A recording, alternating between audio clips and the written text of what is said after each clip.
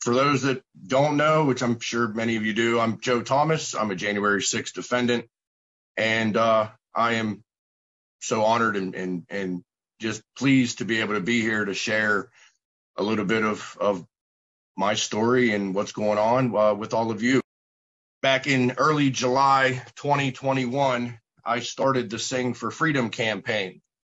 And that's all because of the inspiration that the gentlemen inside the DC jail had shown one another.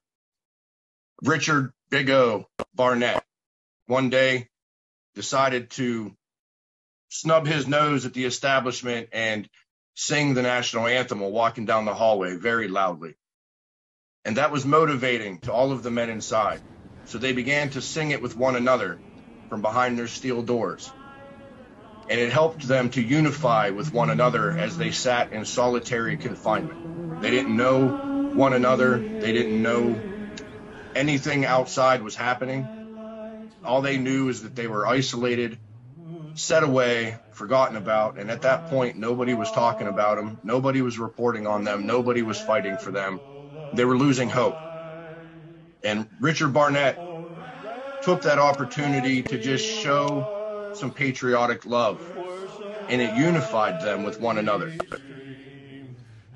And that was in, I believe, May, late May, maybe early June of 2021 eventually a recording of them singing together got out from the jail and it was told that it became a nightly routine. It started at several different times, but eventually it solidified itself at 9 p.m. Eastern every single night. In early July, when I first heard the recording that got out of the jail, that moved me because in May of 21, when I was arrested by an FBI counterterrorism SWAT team for my presence at the Capitol, I was awarded bond. Maybe I felt a little guilty. I don't know. I had no idea why I was released and they were sitting behind bars, but I had known that their conditions were absolutely horrible. And so I prayed and I said, God, I cannot thank you enough for the freedom that I've been given to still take care of my family. But what can I do? You've given me this gift for a reason.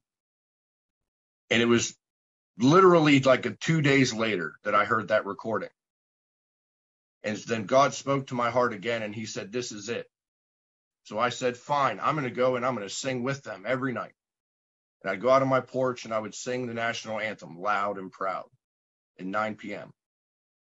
My neighbor came over and asked me one day, she says, What in the heck are you doing? Are you practicing for a ball game or something? And, you know, I laughed and I was like, No. And then I told her the story. The sheer look of horror that came over her face said it all. So there I've stood in the middle of the road, well, my driveway, actually, as she left. And I'm like, Great, my neighbor now thinks I'm a terrorist. But that didn't stop me. I kept going out on my porch every single night and I would sing the anthem. I hadn't started recording it yet. And a couple days after I kept doing that, I heard her with her young child singing from their front porch as well.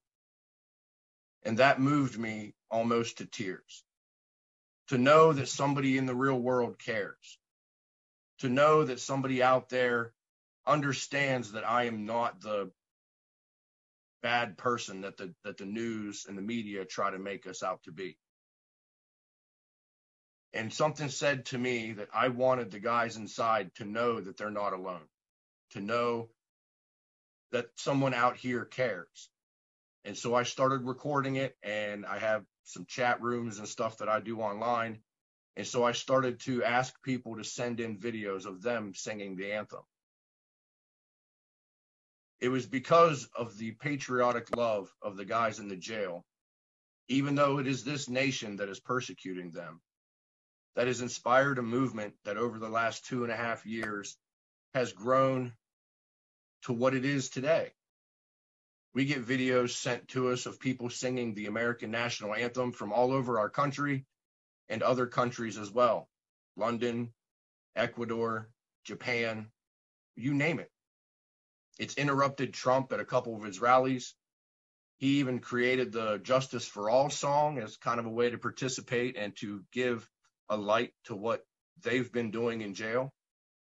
They do it nightly at the vigil and have been for, I mean, like maybe what's a year and a half now, something like that.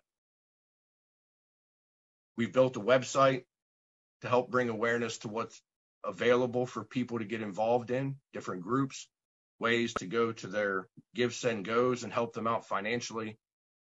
And many of the people that you've heard speaking today are highlighted on that website as those that we can go to to get these men and women help to make effective change.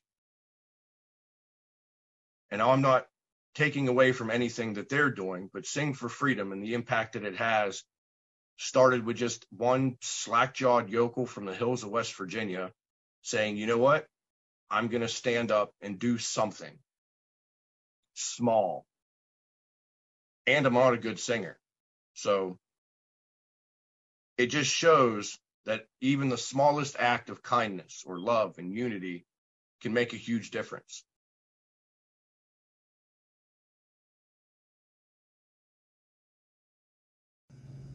Oh, say, can you see by the dawn's early light? What so proudly we hailed at the twilight's last gleaming, whose broad stripes and bright stars through the perilous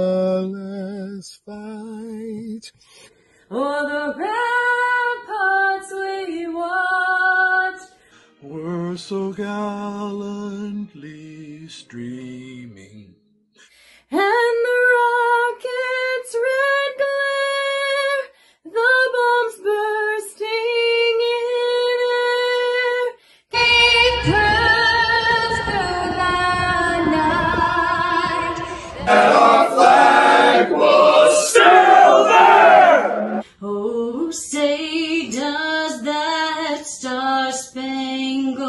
Then